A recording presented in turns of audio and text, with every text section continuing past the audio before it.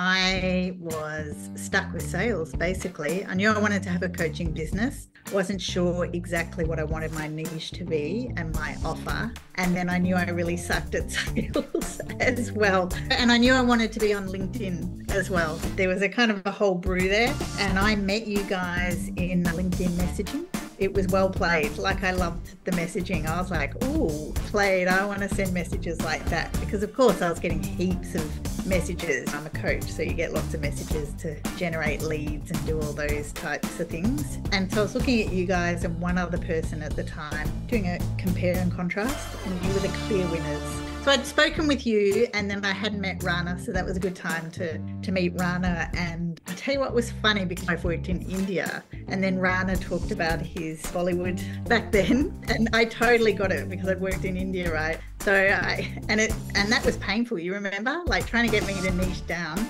is completely painful. Um, and then I niched down more this year, so I've actually niched twice now, which is amazing. So that's been really good, obviously, because if you don't have a clear niche.